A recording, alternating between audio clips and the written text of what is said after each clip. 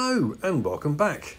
Yes, this video is your main build of the kit. Now, what I'm doing now is I'm just super gluing the main cockpit into the starboard side of the fuselage using super glue and an old airbrush needle.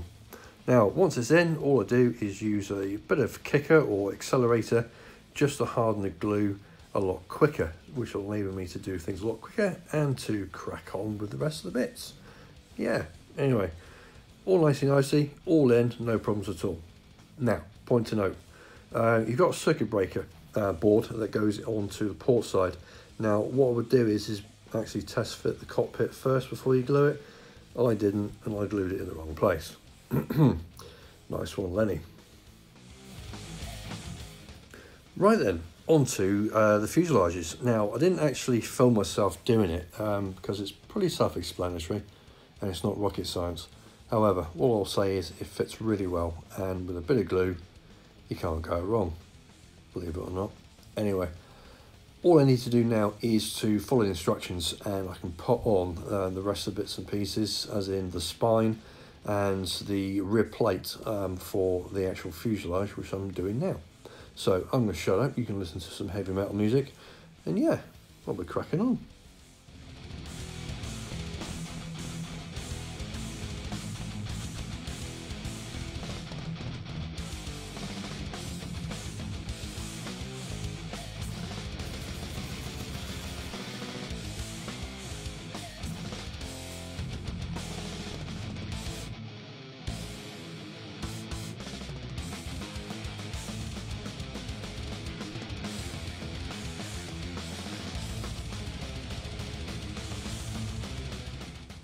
And just in case you were wondering, um, when you put the spine on, like I'm doing right there, you would think, oh, is it going to fit? Is it going to do this? Uh, it's perfect. Literally, it's perfect. You just pop it on and just carefully glue um, in and around the actual anchor points. You can't go wrong. Fantastic.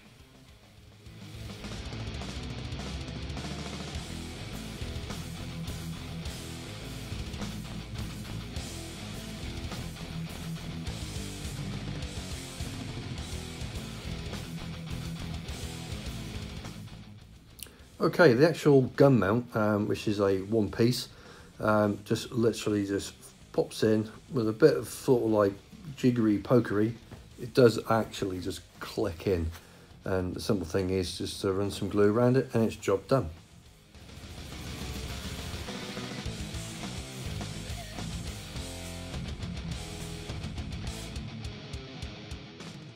Okay, next thing is to prep for the nose cone.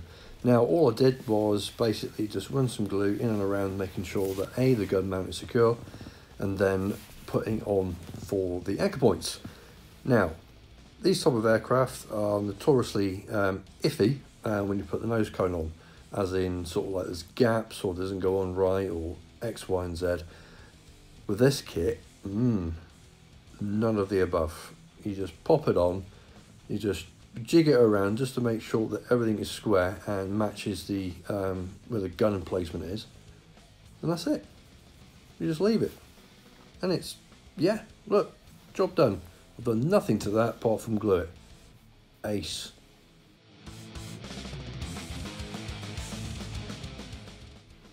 So just glue the top of the uh, tail on which I believe's got like ECM and other really technical stuff anyway, that went on, not a problem at all. Um, really happy with that. And this time, all I'm doing is just popping on, I believe, is the cooling fans base, I think, or cooling something. I don't know what they are. But anyway, they're on. Um, again, not a problem.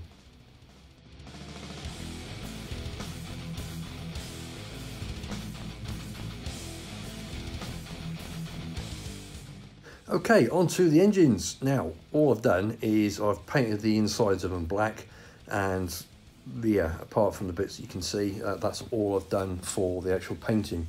Um, if I was to display one of the engines, which you can in the kit, um, you've got to say that Zoukei-Mura really thought about it. Now, when you put the actual engines together, there is absolutely minimal cleanup um, to do. and even when the actual when you put the engines together you, you got the castings or the rib like things from the outside of the engine. Again it's minimal cleanup so Zoukei-Mura good job there mate. Anyway right all I'm doing is using AK Extreme Metals now on the bits that you can see or will be able to see at some point uh, which is the engine parts of the fans compressor fans and etc again AK Interactive Extreme Metals using aluminium.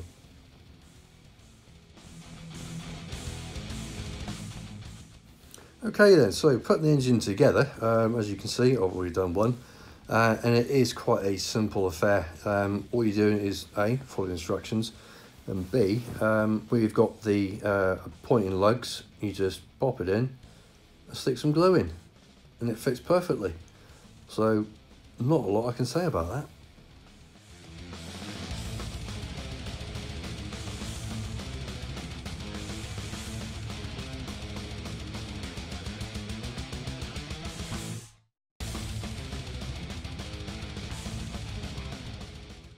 Okay, so just putting the two engine parts together. And again, you're just running some glue just down the, uh, the actual anchor points. And it is just a normal, everyday, fantastic fit. What can I say? Anyway, hang on a minute, right? Someone asked me this, um, how was the actual fit of the kit so far as I'm doing it now? Um, and I can actually put it to this. It's very much like making love to a beautiful woman. Unzip the door, put up your pole, and slip into the old bag. Yep, pretty much.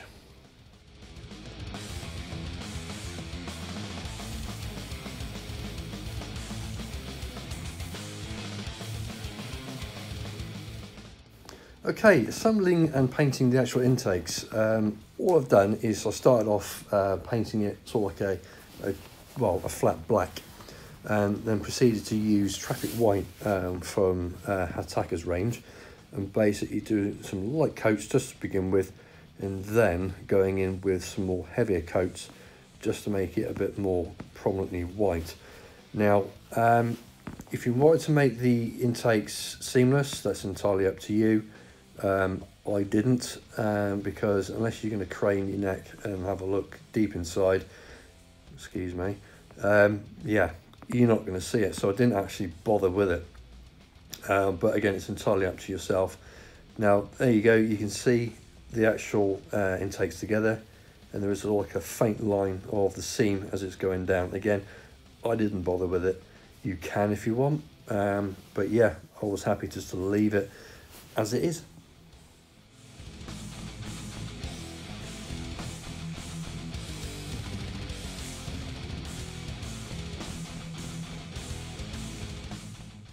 Right then, let's stick things together. Right, basically it'll be the intakes and the engines going into the lower uh, fuselage and wings. Now, all I'll suggest is follow the instructions. Uh, they do show you um, very well where things need to go.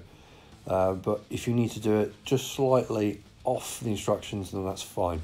Uh, because that's what I had to do. Is basically sort of like put the intakes in first and then the actual framing, which is just the, well, just the left there of my hand. Um, once it's in, it is in, if you know what I mean. It's not going to go anywhere. Um, so yeah, it is nice and it's safe and it, it is secure. Um, so yeah, again, Zoukei-Mura, well done for that one.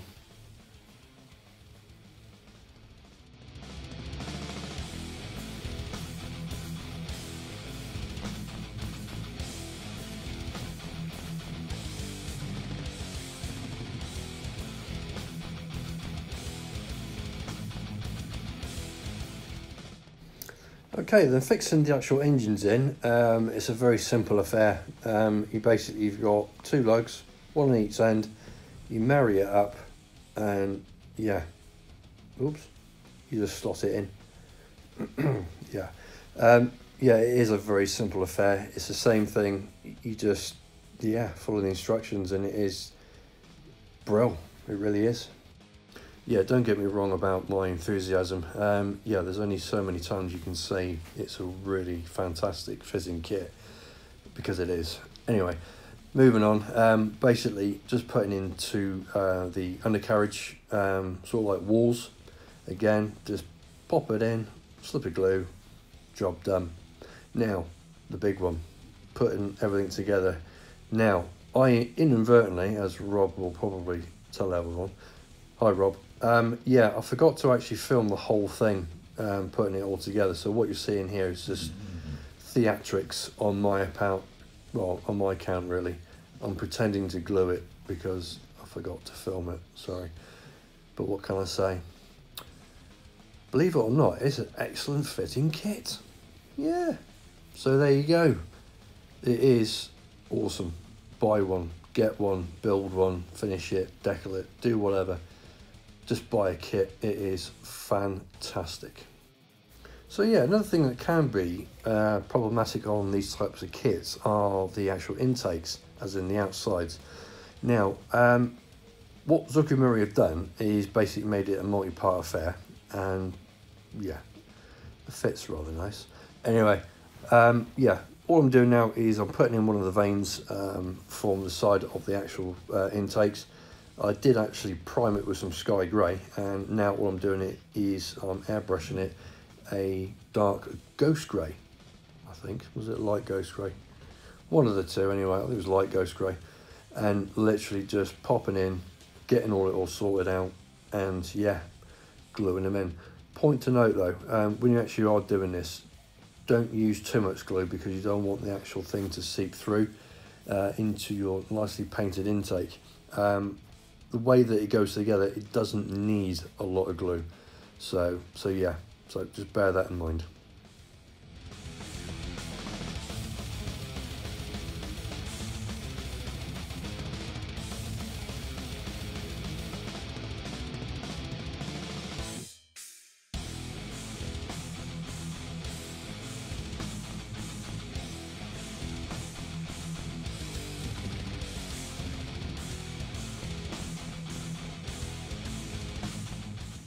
Oh yes, before you actually glue it onto your main kit, you've got dun dun dun.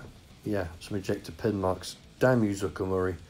Anyway, yeah, get rid of those first. And all I did was stick some rocket glue uh, into the actual apertures and just use the kicker or the accelerator just to, well, yeah, dry it off rather quickly. And yeah, sand it down and it's job done.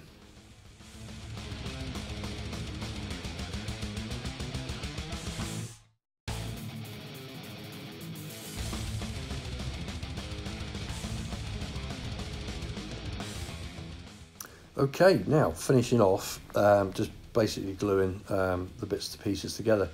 Now with the intake, yeah, I sanded it all down and painted it the fuselage colour, which is a dark ghost grey. And the, the actual wingtips themselves, um, they are a four part affair. Basically two, um, two bits together. You've got the, the front part and the side part. Yeah, you really know what you're talking about, lady, don't you? Yes, I do. Anyway, fitting the intake. Now, just pop it on. Mm, does it fit well? Um, uh, yeah, come on. Yeah. Guys, when you're doing it, just take your time.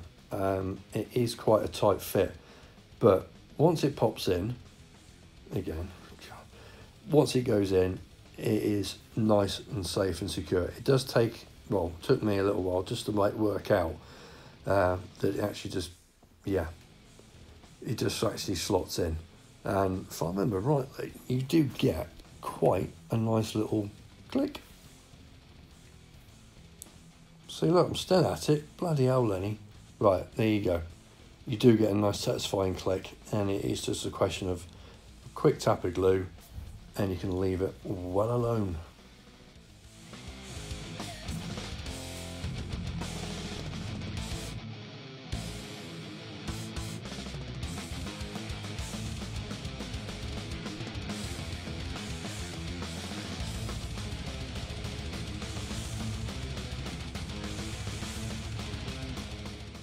As you can see there, you pop the ends of the wings on Um, yeah, you slot it in, bit of glue. That's it, finished. Yay. So yeah, you can sort of like agree now that it's proper looking like a Phantom. Oh, that was quick. Now, yeah, the other one, again, just slot it in. But again, try not to use too much glue because what you don't want to do is have the glue seep out and ruining the actual engraving of the panel lines and rivet detail. So yeah, there you go. I'm just popping on now uh, one of the slats and also you can have uh, the slats deployed as well. Now also that does apply with uh, the flaps and as you can see there I've got those deployed. Mm, very good. Again, very nicely done. It is just a case of just slot it in and glue and it's really that simple. So yeah, there you go guys. That's pretty much the whole of the main fuselage, body, everything done. So it's just now prepping for paint. So as you can see, I've used the um, closed down um, canopy bit basically to use as a mask just so I don't get any overspray actually inside the cockpit. And as you can see there, we've got the elevators and they're all sorted. And again, following instructions is very, very self-explanatory. So yeah, now the next video will be the painting stage. Cool. Yeah, so just reiterate, painting stage next. The kit is fabulous, it fits well, and yeah. It's very much like making love to a beautiful woman.